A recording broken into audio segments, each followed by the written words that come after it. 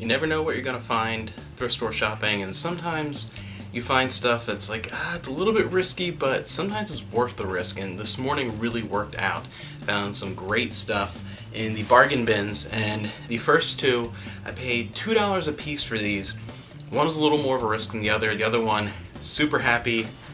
Got an original model 360, possible red ring of death, faceplate, couldn't find anywhere, uh, but it was $2. I'm like, eh, I'll take a chance. For $2, I will take a shot.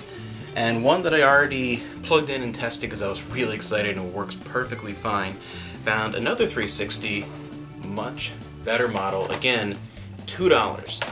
Uh, $2, you, can, you can't beat that. The 360E console, $2 in really good shape and works perfectly. I put it in, it works perfectly fine. I tried, you know, a game, and played, you know, a little bit and took another one out, put Tales of Vesperia in, let the intro play, I think just checking around, deleting stuff off the, you know, profiles that were on there, and I don't think it got a ton of use either.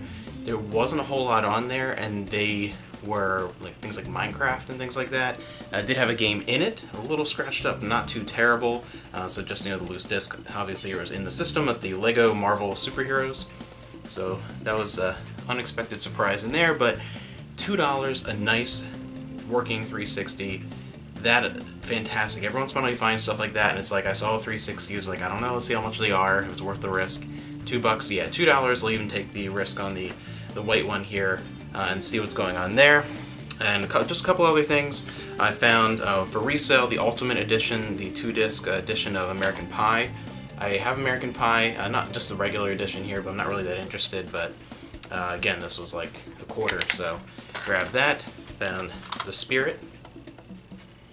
And Let's Make It Legal, Marilyn Monroe. I do not have this movie on any form, so it was cool to grab that.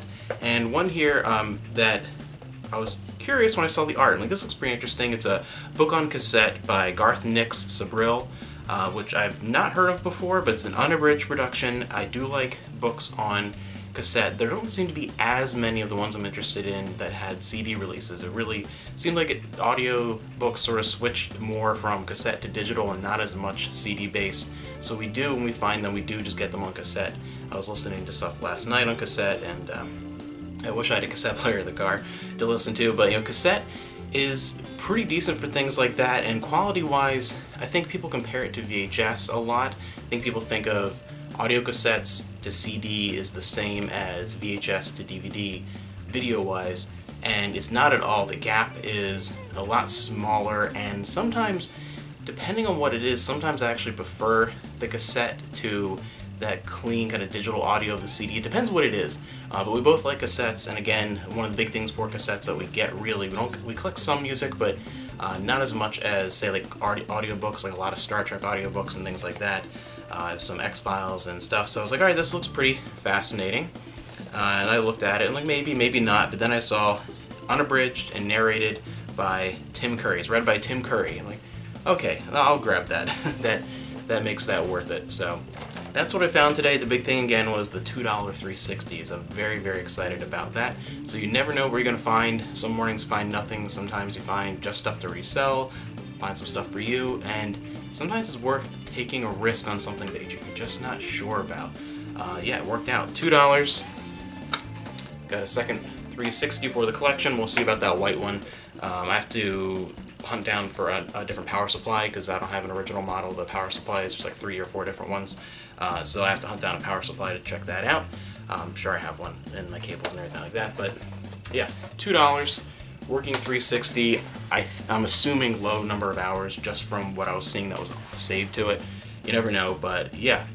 $2 360 I can't say it enough because that is fantastic and surprising. Made for a great start to the weekend